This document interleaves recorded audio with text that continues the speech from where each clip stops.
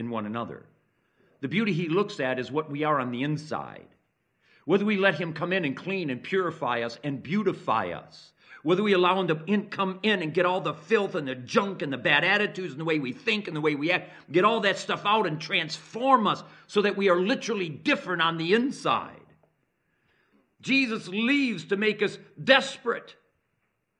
For the Christian, you know what this comes down to be? This comes down to be the sin of prayerlessness. That people don't understand who's knocking at the door.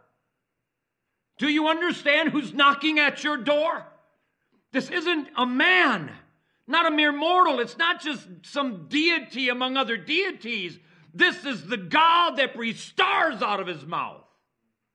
That creation is so big we can't even find the end of it. It's massive. And then he says, It's only this to me. It's the breath of my hand. It's as nothing.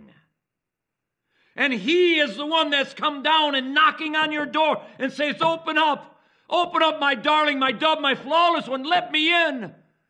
Let me clean those idols out of your life. Let me clean the, the filth out of you that separates me from your love, from you, from knowing you prayerlessness. You know, the church today does not understand the tremendous sin of prayerlessness because it's an absolute affront against the God who calls us. An affront. It's saying, Jesus, you are not important enough to me to lay aside this time.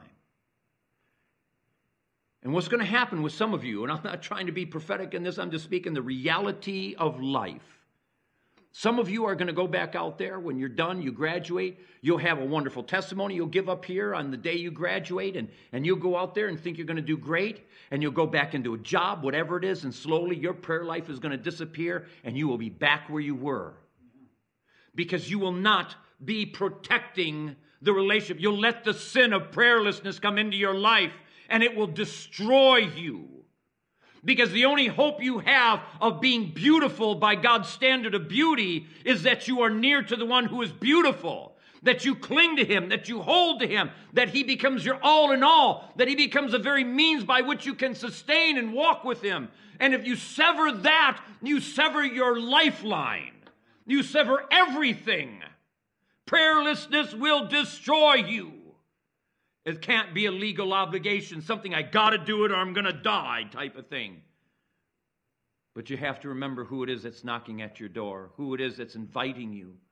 This God that needs nobody, this God that does not need you, this God that is calling you, wooing you, compelling you to come, to open wide the door. Let Him clean out the filth of all the idols and all the junk that's been inside of you that you protected, that you're still trying to protect in here.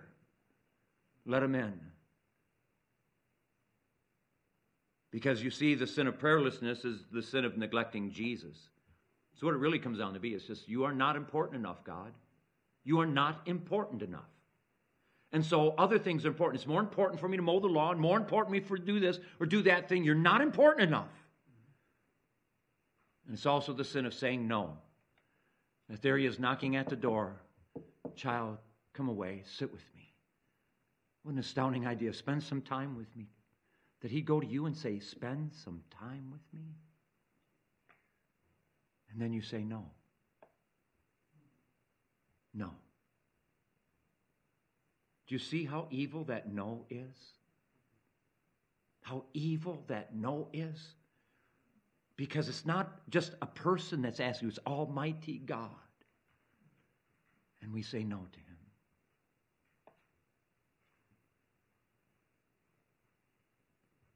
Well, imagine this young man